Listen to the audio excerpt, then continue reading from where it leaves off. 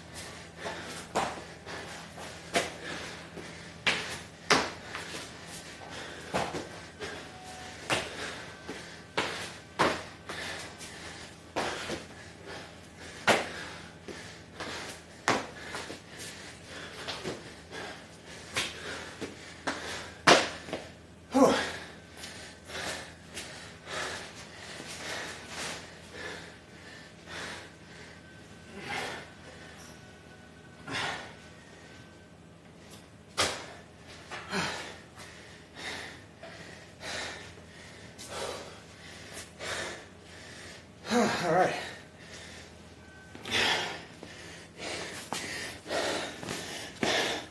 All right. I'm happy with that. Eight minutes, 17 seconds. I'm not near vomiting. I can have coherent speech. I'm sweating and huffing and puffing, but never redlined, never got out of control, and just stayed between third and fourth gear probably out of five gears. Which is funny, right?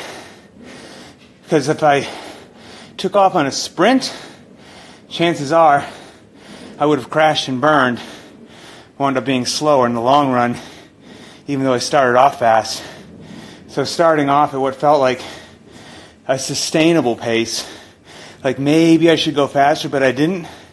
Since it's also increasing reps, it turned into be just where I needed to be. So I'm gonna rest up. I'm going to stretch, and then I'll see everybody tomorrow. Good work on 18.2. Enjoy the rest of your weekend.